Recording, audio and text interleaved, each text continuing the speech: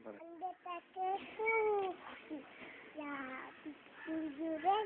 そんなの大丈夫。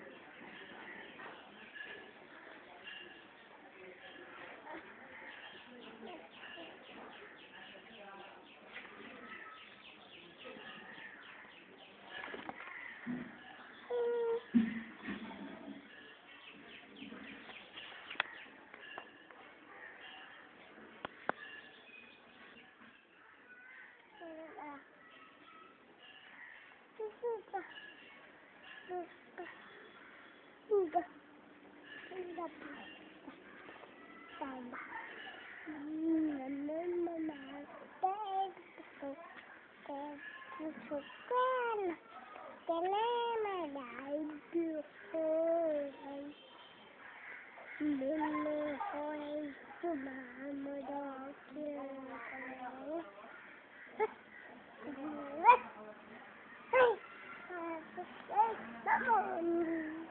Thank